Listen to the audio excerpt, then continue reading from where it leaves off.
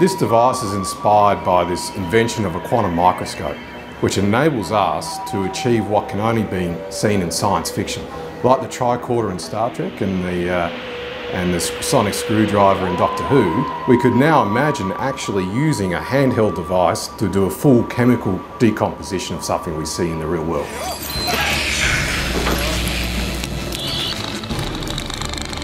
Move! This builds on great advances in nanotechnology. So we're actually going to take a piece of diamond and create a nanostructure in that diamond with atomic scale defects embedded within that nanostructure.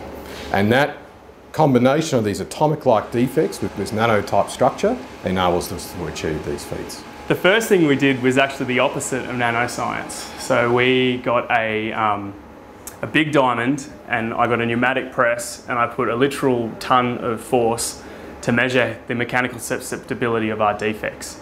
So we were, had this big, big equipment, big lasers, big amounts of power, and we were doing this really brute force stuff to sort of characterize how it works. How is he? Severe heart damage, signs of congestion in both lungs, evidence of massive circulatory collapse. Well, what this does is it takes two powerful instruments, an MRI machine and a uh, mass spectrometer, and it puts it on one chip. And what that does is it removes the barrier to access. Now we can mass produce these things, we can distribute it to many hospitals, many laboratories, and people can utilize these much more readily, solve scientific problems, solve medical problems much more quickly and cheaply. You're fine.